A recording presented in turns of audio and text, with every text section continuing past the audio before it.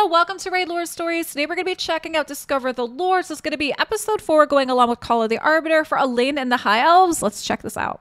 Welcome to the world of Teleria, an ancient land with its own peoples and races, and millennia of history. In this series, we're going to dive into the unique world and lore that exists within the Raid universe. This episode continues the story of Kael and Elhain, this time showing events from Elhain's point of view. Elhain, niece of the High Elven Queen Eva, is forced to defend Aravia's borders and has to give up reuniting with Kael in order to serve her people. Last time, we explored the history of the Dark Elves, but now it is the turn of the High Elves, those who remained loyal to the King and by extension, the Arbiter and Lumiya. How did their society rise, and how did it react to its schism? Let us learn more about the High Elves and their impact on Teleria. The first to emerge from the waters of life during Teleria's primordial age, and the race most aligned with the goddess of light Lumiya, the majority of elves found their home in a verdant valley on the continent of Anhelt. They called this land Aravia and built a kingdom that would endure the test of time.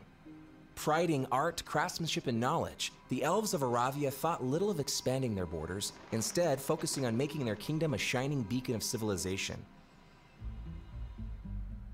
While they quickly came to the Arbiter's aid in Teleria's many great wars, the elves chose to stay out of the affairs of other races.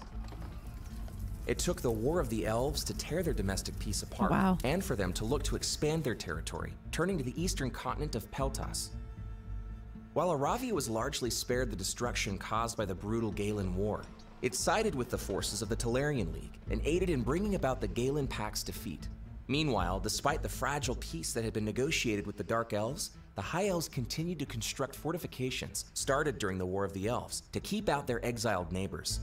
The largest of Aravia's defensive structures is Felwyn's Wall, a huge fortification commissioned by Queen Eva. Its mighty gate is garrisoned by skinwalkers, Ogryn, and Oh. Lizardmen, descendants of those who had fled into Aravia Oh, that's during the Red interesting. Crusade.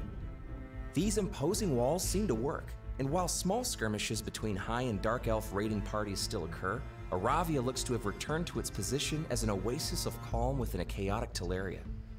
However, a growing shadow looms over the Elven Kingdom. All is not well with their queen, and whispers of war threaten once again. With Elhain defending Aravia from attack, this episode's code may be found at the borders. Just as Kael and Elhain abandoned their enmity and came together to serve the Arbiter, maybe there is still hope for a unification of the elves. For more on the High Elves and their society, read the bios of Elhain, Lysandra, Royal Huntsman, and Deliana in the Champion Index in-game, or follow the links in the description for more resources. Be sure to like and subscribe for more Raid Call of the Arbiter. Ooh, what did you guys think of that? That actually makes so much sense. That makes so much sense between the High Elves and the Dark Elves. It really is jiving along with what had happened initially with the previous one that we watched, which was for the Dark Elves, and to learn about what happened with Queen Eva as well. Guys, drop me some comments down below what you think of this lore for Elhain and for the High Elves, and thank you so much for watching.